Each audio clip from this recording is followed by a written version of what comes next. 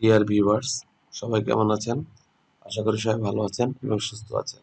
আমাদের আজকের টিউটোরিয়ালের বিষয়বস্তু হলো বার্ষিক প্রাথমিক বিদ্যালয় সবারই অর্থাৎ এপিএসসি তথ্য সংগ্রহ এটি প্রাথমিক বিদ্যালয়ের জন্য খুবই একটি গুরুত্বপূর্ণ বিষয়। অনেকেই এটাকে পূরণ করাটা অনেক কঠিন মনে করেন। আসলে এটা খুব বেশি কঠিন নয়, তবে এটার একটু কষ্টের কাজ হলো যে এটা একটু দীর্ঘ মেয়াদী কাজ। অর্থাৎ এখানে প্রায় বাইশটি ধাপ রয়েছে। তো এই বাইশটি ধাপ আপনাকে পূরণ করতে হবে। এবং এই কাজটি কীভাবে আপনারা নির্ভুলভাবে করতে পারেন, সেই সম্পর্কে আমি আজকে টিউটোরিয়াল আলোচনা করব। আশা করি ভিডিওটি না টেনে সম্পূর্ণ দেখবেন। তাহলে এপিএসসি সংক্রান্ত যাবতীয় সমস্যা আপনারা খুব সহজেই সমাধান করতে পারবেন এবং বুঝতে পারবেন। তো এপিএসসি ফর্ম পূরণ করার আগে আমাদের এই স্ক্রিনটাতে আসতে হবে। তো এটা আসার জন্য যে লিঙ্কটি সেটা আমি ভিডিও ডিসক্রিপশন বক্সে দিয়ে দেব। সেখান থেকে আপনারা সরাসরি এই ড্যাশবোর্ডে চলে আসতে পারবেন। তো ভিডিওর মূল আলোচনা যাওয়ার পূর্বে সকলের কাছে একটি রিকোয়েস্ট যারা আমাদের চ্যানেলটিকে এখনও সাবস্ক্রাইব করেননি, তারা অবশ্যই সাবস্ক্রাইব করে ফেলবেন। আর যারা অলরেডি সাবস্ক্রাইব করে ফেলেছেন, তাদেরকে অসংখ্য ধন্যবাদ। তাহলে আমাদের চ্যানেলের সকল নতুন নতুন ভিডিও আপনারা সবার আগে পেয়ে যাবেন। তবে চলুন, ভিডিওর মূল আলোচনা যাওয়া যাক।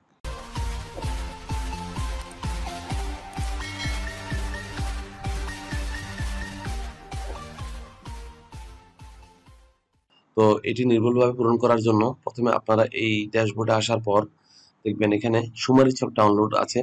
এটিতে ক্লিক করলে এই ছকটি ডাউনলোড হয়ে যাবে। তো আমি অলরেডি ডাউনলোড করেছি। ছকটি কীরকম হতে পারে আমি সেটি দেখাচ্ছি। দেখেন এই ছকটি এরকম হয়ে থাকবে। এই ছকটির মধ্যে দেখেন এখানে প্রায় বাইশটি ধাপ রয়েছে। তো এই ধাপগুলো আপনারা ধীরে ধীরে পূরণ করতে হবে। প্রাথমিক বিদ্যালয় এই ব্যবস্থাপনার এই ড্যাশবোর্ডটিতে আসার পর আমরা এখানে দেখতে পারব যে ব্যবহারকারী ইমেল নাম এবং ব্যবহারকারী পাসওয়ার্ড দুটো অপশন আছে। এর মাধ্যমে আমরা এই ই ব্যবস্থাপনাতে প্রবেশ করতে পারব। এখন অনেক ক্ষেত্রে আমরা পাসওয়ার্ড ভুলে যেতে পারি।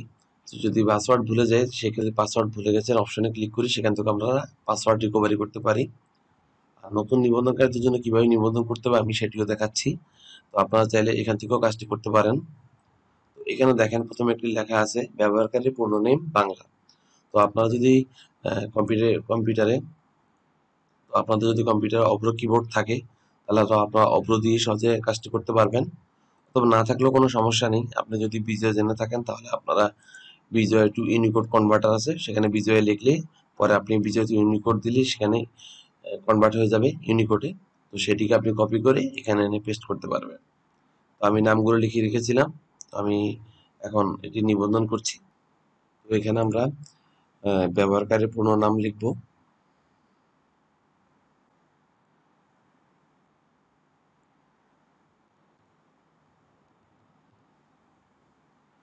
দেখেন আমাদের এখানে বাংলা নাম দিলাম, তারপর ইংরেজি নাম, তারপর আমাদের মোবাইল নাম্বারটি, তারপর আমাদের ইমেল অ্যাড্রেসটি দিলাম, তারপর পাসওয়ার্ড দিবেন। তো পাসওয়ার্ডে এখানে ছোট হাতের, বড় হাতের অক্ষর এবং কিছু স্পেশাল কিওয়ার্ড অর্থাৎ অ্যাট দ্য রেট অফের মতো ওয়ার্ড দিতে হবে এবং সংখ্যা মিলিয়ে পাসওয়ার্ডটা দিতে হবে, তাহলে স্ট্রং হবে। আমি এরকম একটি পাসওয়ার্ড দিচ্ছি। জাতীয় পরিচয়পত্র নাম তো এখানে সবগুলো পূরণ করা হয়ে গেলে আমরা এখানে একটি কোড আসবে, তো কোডটি দিব। এখানে সাধারণত বড় হাতের অক্ষর থাকে।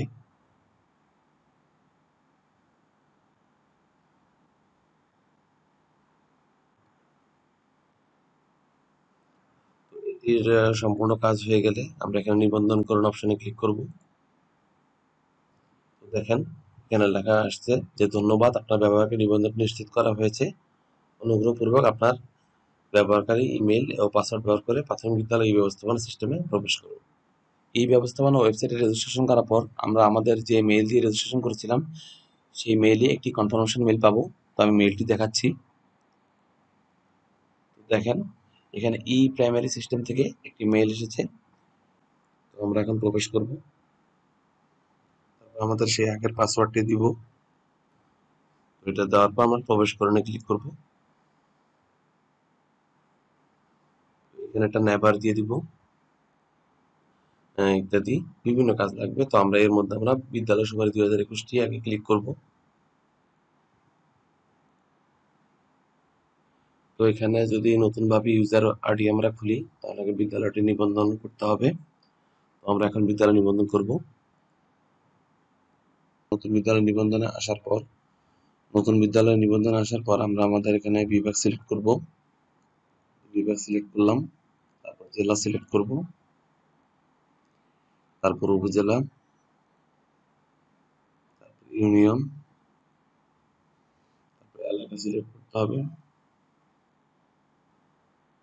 গ্রাম ক্লাস্টার নিবন্ধনের মাধ্যম বিদ্যালয়ের সুমারি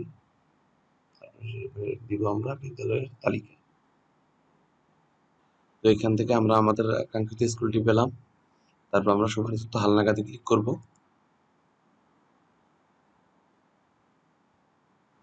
তো এখানে আসার পর আমরা আমাদের তথ্যগুলো চেক করে দেখব। যে আসলে এই তথ্যগুলো ঠিক আছে কিনা?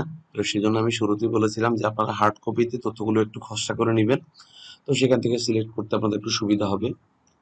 তো আমি এখানে আমার হার্ড কপি মোতাবেক এটি পূরণ করছি। তো প্রথম অপশন আছে এখানে একাধিক কার্যক্রম চালু কিনা? তো হ্যাঁ দিব আমরা। শিব সংখ্যা দুইটি, ঠিক আছে? এটি দুটি হবে। টয়লেট ওয়াশ ব্লক ব্যতীত। যেহেতু ওয়াশ ব্লক নেই, তাহলে এটি বাদে যে টয়লেট আছে সেটি। প্রাক বিদ্যালয়ে কোন কোন শ্রেণীতে পাঠদান করা হয়? প্রাক প্রাথমিক শ্রেণি আর ষষ্ঠ শ্রেণি এটা না হবে ষষ্ঠ শ্রেণি নাই এখানে। আচ্ছা সহশিক্ষা কার্যক্রম আছে, বিদ্যালয় গ্রেড বি নিরাপদ পানির জল আছে, প্রথম শ্রেণি আছে, সপ্তম শ্রেণি নাই।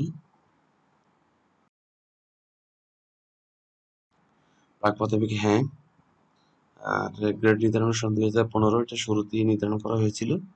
তাই আমাদের এটা চেঞ্জ করার দরকার নেই। ফার্স্ট ব্লক নির্মিত হয়নি হ্যাঁ তৃতীয় শ্রেণি হ্যাঁ চতুর্থ শ্রেণি হ্যাঁ পঞ্চম শ্রেণীও হ্যাঁ দিব। তো নিজস্ব সম্পত্তিতে ভবন এটা হ্যাঁ হবে।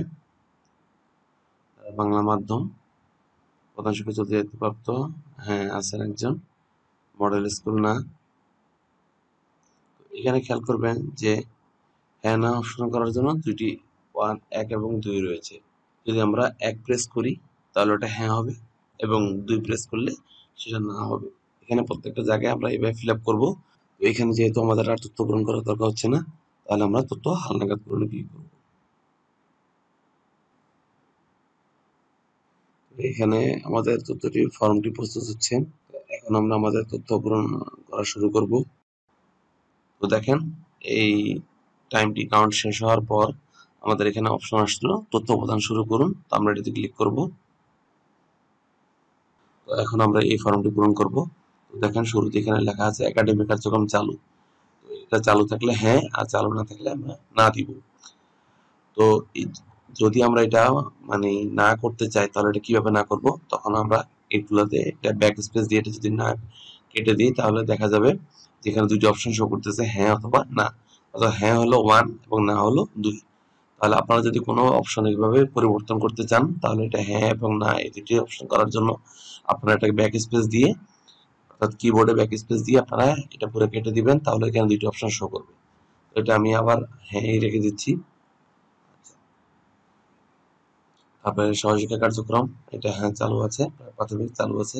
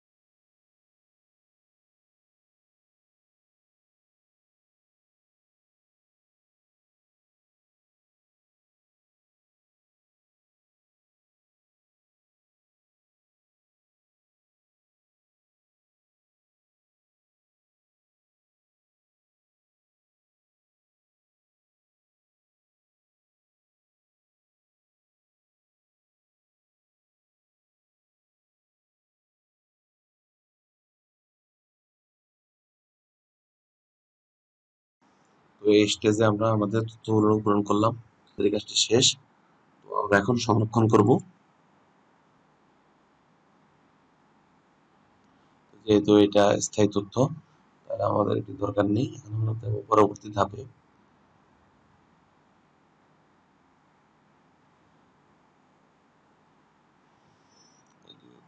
স্থায়ী আমাদের এটা দরকার নেই। চেঞ্জ করা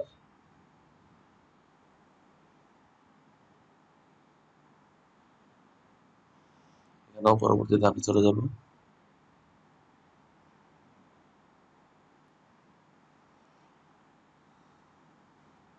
এখানে আমরা যে যে জিনিসগুলো পরিবর্তন করছি না, আসলে তথ্যগুলো আগের মতো স্থায়ী তথ্য যার কারণে আমরা পরিবর্তন করছি না।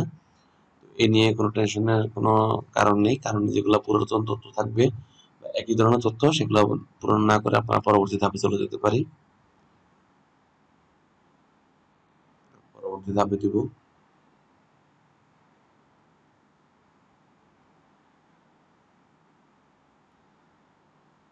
এখন পর্যন্ত যে তথ্যগুলো আমরা কাজ করেছি, সেগুলো সংরক্ষিত হয়েছে।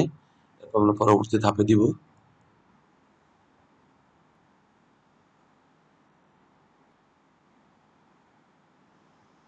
তারপর সংরক্ষণ করণে ক্লিক করব।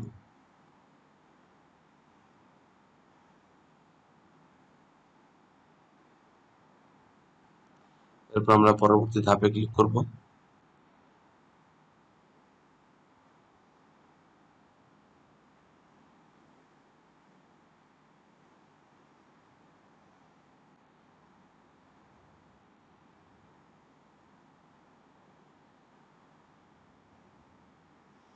তারপর আমরা পরবর্তী ধাপে যাব।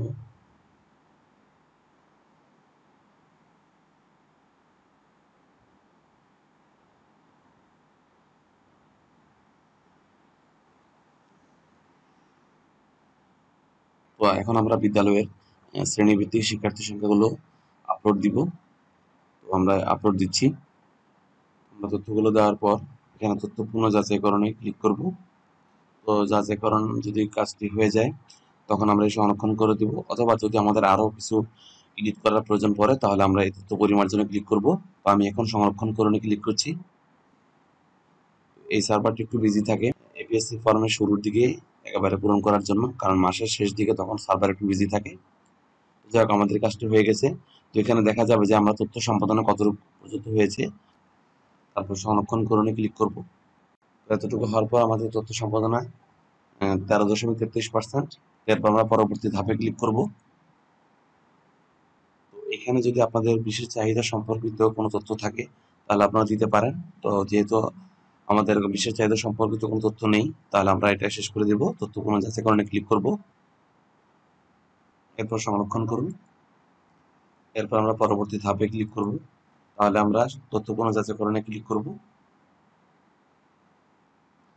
তো যেহেতু এই বছরের উপস্থিতির হার জিরো তাহলে এখানে আমরা জিরোই রাখব। তো আপনারা যদি এখানে কোনো পরিবর্তন করতে চান, সেক্ষেত্রে আপনারা কর্তৃপক্ষের সাথে আলাপ করতে পারেন। তো আমি এখানে তথ্য কোনো যাচাইকরণে ক্লিক করছি। সংরক্ষণ করণে ক্লিক করব। তারপর আমরা পরবর্তী ধাপে যাব সালের ঘরে এবং তারপরে আমরা এই যে এইট প্লাসের ঘরটিতে ফিল আপ করব। পুনঃ যাচাইকরণে ক্লিক করব। তারপর সংরক্ষণ করুন। এরপর আমরা চতুর্থ শ্রেণির তথ্য পূরণ করব। আর কোনো তথ্য থাকলে পূরণ করবেন, আর না থাকলে তথ্য পুনঃ যাচাইকরণে ক্লিক করবেন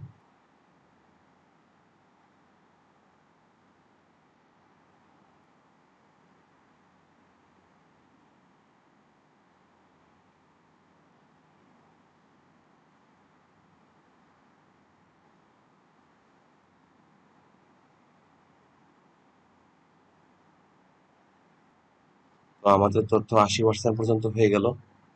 যদি আমাদের স্কুলে ষষ্ঠ থেকে অষ্টম পর্যন্ত শিক্ষা চালু থাকে, তাহলে এই ঘরগুলো আমরা পূরণ করব।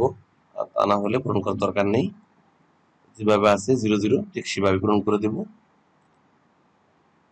সংরক্ষণ করুন।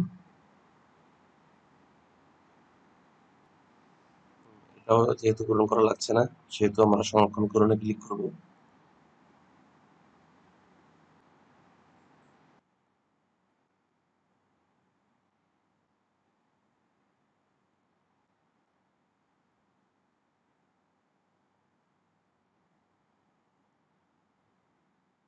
তো আমাদের ফর্মটি ডাউনলোড হয়ে গেছে। তো এখানে ক্লিক করে আমরা দেখতে পারব। শো ফোল্ডার দিলে দেখতে পারব। তো আমরা আমাদের তথ্যটি দেখতে পাচ্ছি। তো এইখানে সব তথ্যই পাবেন। আপনার স্কুল সংক্রান্ত সব তথ্যই পাবেন। তারপরে যদি আপনার কোনো কারেকশন দরকার হয়, তাহলে আমি দেখিয়ে দিয়েছি যে কীভাবে তথ্য সম্পাদনাকরণ অপশন থেকে আপনি কারেকশন করে নির্দিষ্ট আগে আপডেট করলে সেগুলো সেভ করতে পারবেন। এরপরে আর পাবেন না। তো এভাবে আপনারা যে কোনো সালে এপিএসসি ফর্ম পূরণ করতে পারবেন। আশা করি আজকের টিউটোরিয়াল থেকে আপনারা এপিএসসি ফর্ম সংক্রান্ত যাবতীয় সমস্যার সমাধান পেয়েছেন।